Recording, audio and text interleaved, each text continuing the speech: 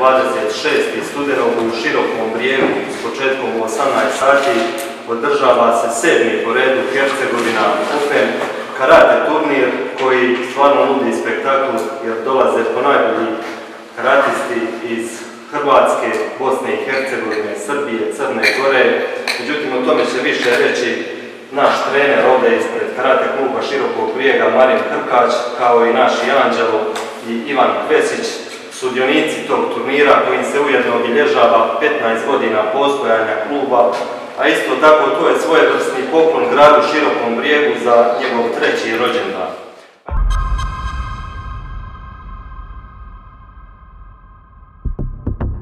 Znači, natjecanje počinje 26.11. u 18 sati. Tu će biti nastupiti države Crne Gore, Srbije, Makedonije i Kosova. Znači, čekaju nas vrlo atraktivne borbe, bit će neizvjesno i volio bih da što više bude posjetitelja, da, da pružimo dobar otpor i drugim karatažima koji će tu nastupiti. Znači, nastupit će Hrvatska, Srbija, Crna Gora, Makedonija i Kosovo.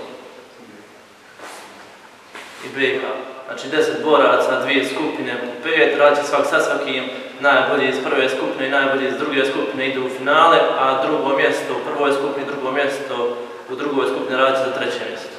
Pa mi smo evo već e, protekla dva mjeseca u velikim pripremama za ovaj turnir kao i za e, prvi mjesec kada nam kreću kvalifikacije za olimpijske igre. E, prošli vikend smo imali kontrolni turnir u Križevicima gdje smo nastupili ekipno na kupu nacija protiv Slovačke i Srbije. Prije toga vikend imali smo prvenstvo Zagreba gdje smo također imali zapažen nastup. E, klub nam je bio najuspješniji na tom natjecanju, tako da dolazimo na ovaj turnir potpuno spremni i dosta motivirani samim time što smo domaćini, što nam je to jedan prvi takav nastup pred domaćom publikom.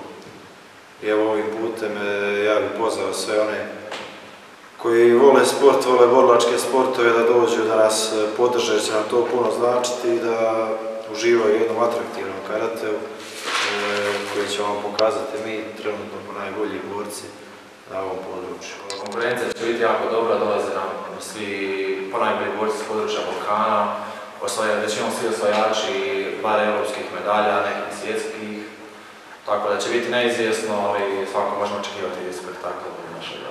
Znači dolaze dosta dobri borci, e, ne, sad niko da ga treba posebno izdvojiti, ali na primjer Nikola Jovanović je e, bio svjetski ekipni prvak, 2010. kad je svjetsko prvenstvo održavalo u Srbiji, Imamo Dejana Crkotu koji isto ima europsku brončanu medalju. E, Viktor Krestevski iz Makedonije isto europsku brončanu medalju. Anđelo ima e, svjetsku brončanu medalju. Ja imam osvojene premije lige, treće mjesto na europskom e, ekipnom prvenstvu. Znači, puno je tu dobrih boraca sa dobrim rezultatima, tako da već sam rekao, možemo očekivati dobre borbe i neizvjesne, ali da će biti na kraju ishod za nas pozitivno. Pripreme za olimpijske igre su već počele nekih godinu dana, to jest od 2018. godine e, kreće kvalifikacija za olimpijske igre, znači u 2018. i 2019. će biti određeni broj turnira svake godine prilike oko desetak, 12 turnira. To su najjači turniri, znači u karateu svjetska europska prvenstva i premijer lige.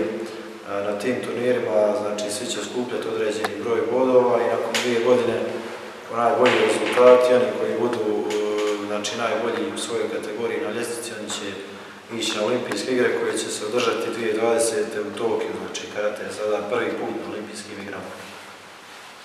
Tako da nas to još dodatno motivira i veseli jer do sad karate nije bio olimpijski sport, pa evo, mi smo oni koji imaju priliku prvi nastupiti s karate na olimpijskim.